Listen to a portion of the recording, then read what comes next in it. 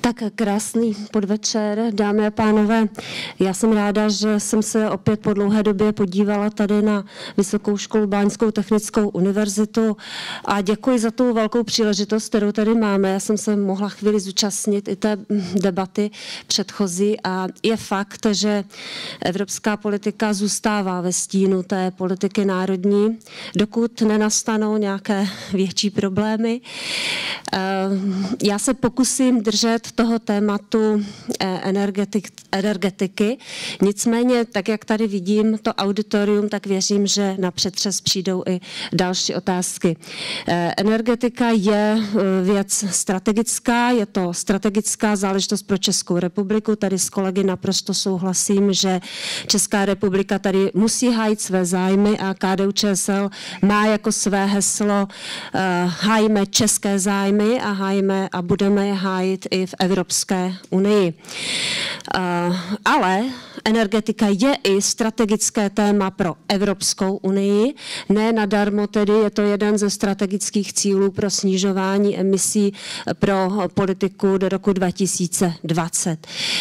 Nejde o předávání kompetencí na úroveň Evropské unie, ale KDU ČSL podporuje koordinační roli Evropské unie v tomto smyslu. Ty naše zájmy jsou v tomto společné. To znamená bezpečný eh, energetický trh.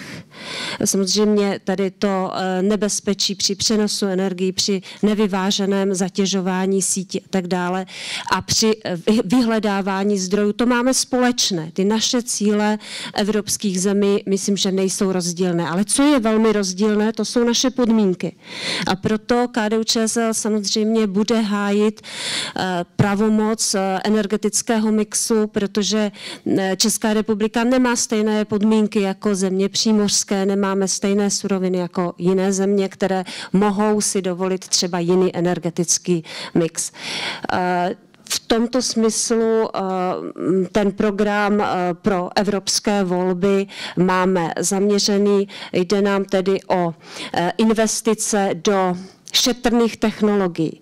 Eh, my si myslíme, že největší rezervy, kde jsou největší zdroje, jsou v ušetřené energie. Já pocházím ze Zlínského kraje a Tomáš Baťa měl takový, takové své heslo, že nejlépe vydělaná koruna je ta, která se ušetří. U energie to platí stoprocentně také.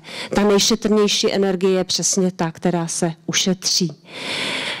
Eh, chtěla bych ještě říci, že eh, pokud KDU ČSL bude mít opět své poslance a my věříme, že ano, protože Evropská lidová strana, již jsme součástí, patří mezi ty nejsilnější frakce, tak určitě se budeme snažit, aby eh, Evropská unie taky tlačila na ty globální hráče, protože snižovat eh, emise pouze za Evropskou unii, která je v podstatě tím minoritním dodavatelem splodin a CO2, tak eh, my to nevy, nevyřešíme.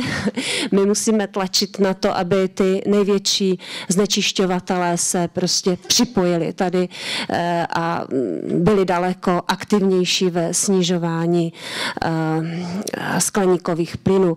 Eh, Evropa má zhruba 11,2 se podílí na tom dodávání těchto splodin. Čili to jsou témata, se kterými jdeme jako mm, KDU ČSL do voleb, do Evropského parlamentu a já se těším na tu debatu, která, kterou tady s vámi povedu.